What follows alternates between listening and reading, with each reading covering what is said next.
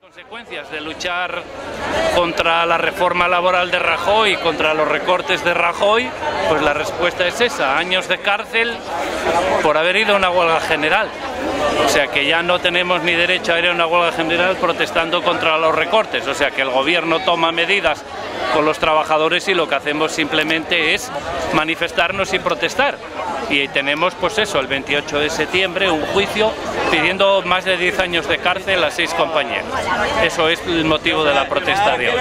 Oye, Morada, reclamaste tus derechos porque tú ahí tienes muchas propiedades. ahí A ver, nosotros ¿no? lo que estamos reclamando, y no es broma, es que mm, hemos metido alegaciones Cándido, tres de Naval Gijón y yo, contra la recalificación, que esto queremos que siga siendo industrial, que no sea para especular para el ladrillo, que ya hundió este país.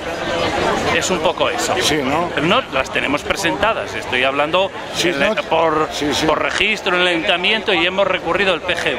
Porque, porque aquí hay mucho, hay mucho terreno, ¿eh? Aquí pues calcula que hay entre concesión de la mar y lo que es propiedad que antes era de Naval Gijón, pues hay cerca de 70.000 metros cuadrados. ¿eh?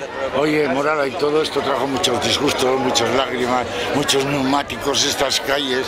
Fue la Sí, hostia, primero ¿no? ahí en Cantábrico, luego Sí. aquí en tal, y luego en Juliana, y luego en Marítima, y luego en Astilleros del Cantábrico, desde luego eh, fue una y talleres de Moreda también, y CRAD, y ha sido una resistencia contra el desmantelamiento, pero ya vemos el papel que juegan los políticos, y aquí la culpa en Asturias no se lo podemos echar al PP, aquí ha sido el PSOE el que ha desmantelado Asturias, el campo, la pesca, la industria, lo ha desmantelado todo.